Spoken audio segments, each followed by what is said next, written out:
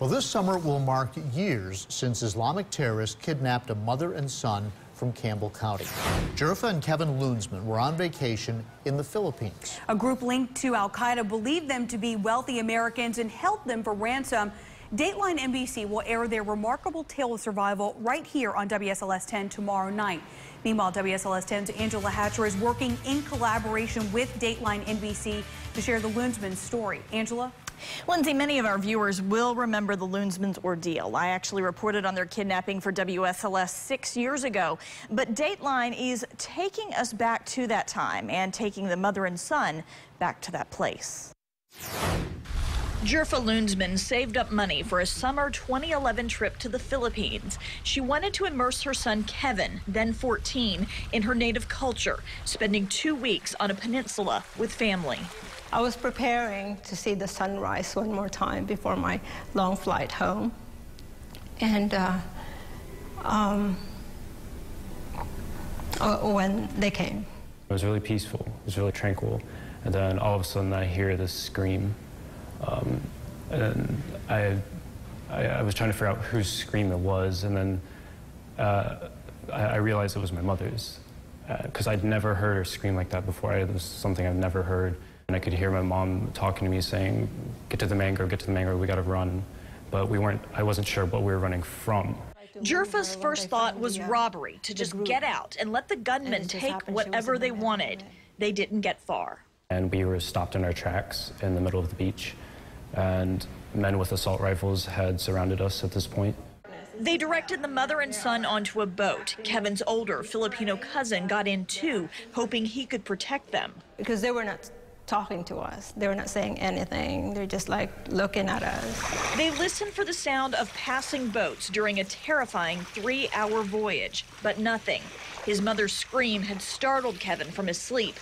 Out there in the middle of the ocean, he hoped he was just in a dream. It just started just pinching, pinching away, and I wasn't waking up. It, it was real. The nightmare continued when they made it to shore. There were more men waiting for them to lead them on a treacherous barefoot hike through a jungle so thick the men cut a path with knives.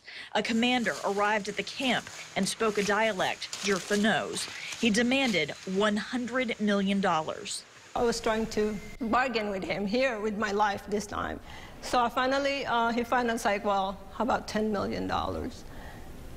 And that amount is still ridiculous. I know there's no way I can talk to him uh, or convince him that I don't have that money. And I just look up, up in heaven. I'm hoping he can tell me what to do. And this beautiful star just looking at me. And I pointed at them said, if you can get the star, my husband can give you 10 million.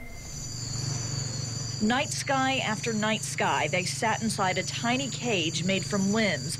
Dateline NBC recreated it based on specifications from Gerfa and Kevin. The sounds of insects and birds at certain times help them keep track of days. We did keep track of the dates by etching them into wood, into the cage that we had put in, uh, been put in. Um, but at a point, we had uh, given up on that because after a span of time, you begin to see it feel hopeless. And you don't want to keep uh, filling in those marks, those tally marks, because you don't want to know how long you've been there. Then suddenly, one day, after about three months, they basically said, they just pointed at my mother and said she's leaving. Kevin knew they were lying when they told him she'd be back. The captives had been waiting for food all day. Gerfa promised to be back for dinner.